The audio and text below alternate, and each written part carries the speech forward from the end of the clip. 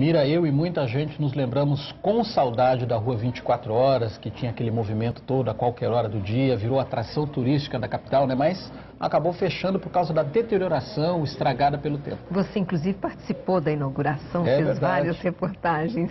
Então, só que a boa notícia é que a rua foi reformada e, olha só, já está prontinha para ser aberta em setembro. Vamos ver.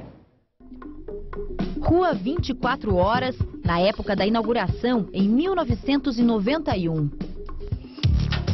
Rua 24 Horas, 16 anos depois, quando de moderna já tinha passado a antiquada. O que chegou a ser um ponto turístico, conhecido até no exterior, virou um lugar abandonado e teve de ser fechado pela prefeitura. Foram quatro anos atrás dos tapumes. Agora, depois de 4 milhões de reais investidos, a rua recuperou o brilho.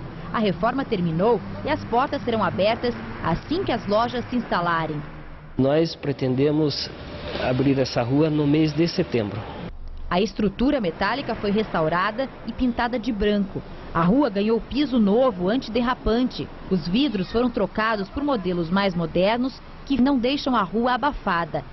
Uma vez aberta, a rua não fecha mais. Os comerciantes precisam cumprir o horário comercial, mas têm a liberdade de abrir ou não à noite. Cinco espaços ainda estão disponíveis. São esses que ficam perto da entrada da Visconde de Nácar. E nos dois principais é que é feita uma exigência, que os estabelecimentos fiquem abertos 24 horas.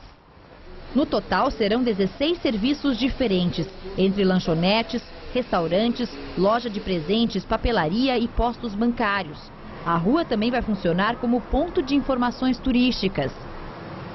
Nós temos um conjunto de serviços aqui que eh, ele vem marcas consagradas já, vem marcas de fora do Paraná. eh, e é um mix de produto muito interessante para quem eh, utilizar a rua 24 horas aqui. Convidamos esse casal que estava passando em frente para dar uma espiada lá dentro.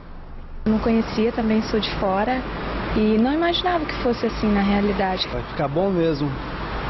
Espero que continue assim. É, se deram bem ali, fizeram um passeio turístico né, antes de todo mundo.